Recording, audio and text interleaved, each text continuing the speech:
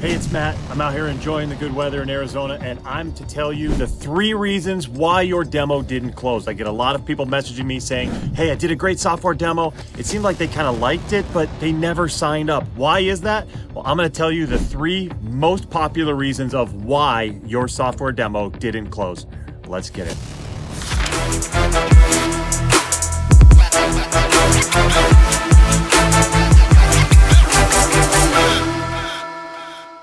Hey, it's Matt Wolach. I help software leaders understand how to generate a whole ton of great leads, close those deals so that you can get some quick revenue and a lot of revenue, and build a sales team so that you can have other people doing it for you. If you want any of those things, subscribe to the channel right now, hit that button and the little bell. That way you'll be notified about all of my upcoming videos and trainings on how you can implement the right sales process so you can get more software customers. Now, today we're talking about why your software demo didn't close. And this is something I get quite a bit. I get this a lot. Why your software demo doesn't close. And it's really frustrating because sometimes you do a demo and you have people say, hey, that was nice. Thank you. We don't want that was nice. We want, yes, I love it. I need it. How can I sign up? I need to get started right now. I want to implement this right away.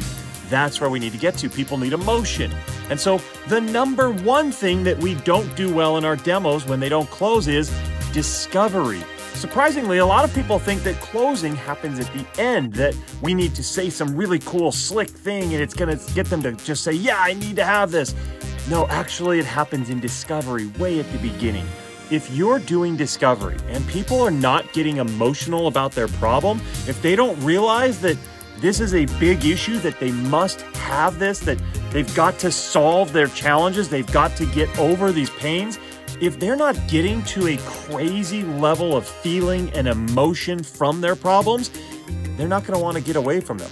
You know, people move, they make changes because of problems. They're not going to make changes because it's just kind of maybe this will be nicer. So instead of focusing on your product, instead of focusing on what your thing does, first really focus on them. Really make sure that they understand just how bad things are, that they get that they're way behind, that they're needing to fix things quick. And once they get to that level of understanding, then that's when they start to realize if I need to fix this quick, what can do it? Oh, you're right there in front of me and you have a product? Great, let's do it. And that's when you can start to take action. So, the number one most important thing make sure your discovery is great. Now, if your discovery is lacking, check out this video. This is where you can see my instructions on how to make an outstanding discovery. I'll help you understand exactly what you need to do. Go there, check that out now. That way, you know you won't be missing any good discovery stuff. Okay, by the way, if you like this stuff, hit like right now. That'll show me this is good. And if you have any questions or thoughts on other things that I might help you with, definitely throw that in the comments. I'll be able to answer those for you. The number two reason why people don't close they're resistant to change.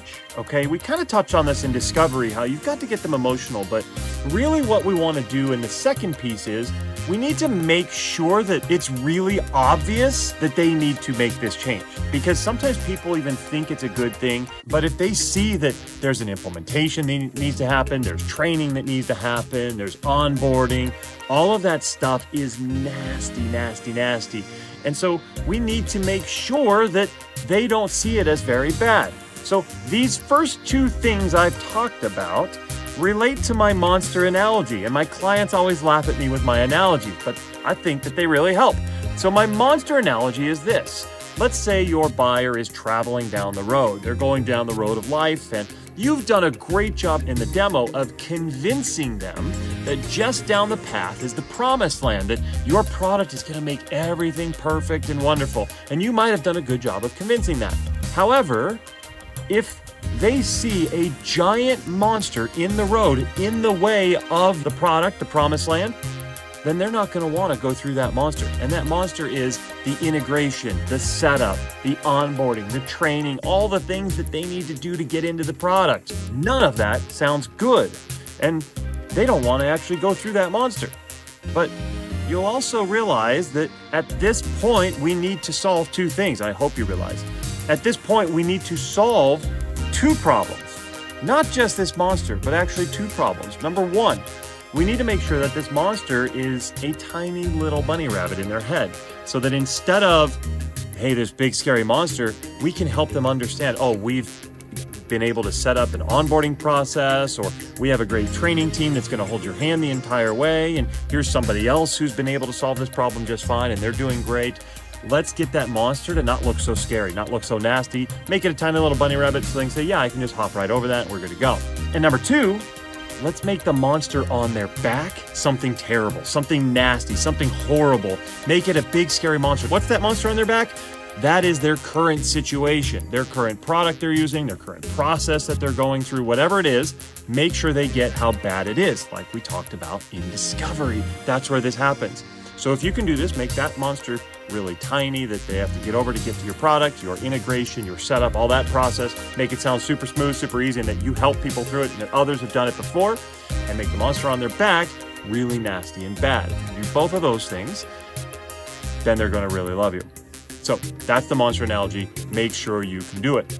Those are two of them. And the third thing that kind of relates to this is a lot of times what I see when people aren't closing, and I watch the demo, people say, Matt, can you check this out? And they, they hire me basically to look over their demos, give them feedback. Essentially what they're doing is they're being too salesy. They're being a salesperson. And I know that what you might be, you might be a salesperson. But really we want to be a consultant. We want to be an advisor. We want to help and not sell. And if we're helping, then they're going to feel that. They're going to feel that you're trying to help them. You're trying to improve their situation. Yeah, maybe your product is one of the ways they can do that. But if you're looking at it holistically and thinking how you can help them, how you can get them better, and the words that you're using are going to mimic that, are going to be showing of that, to explain that I'm here to help instead of I just want to sell you, then that's going to be very powerful to the buyer. The buyer is going to recognize that. They're going to sense that your motivations are in line with theirs, that your objective is to help them get better, just like theirs is. If they feel that alignment, they're going to want to follow you.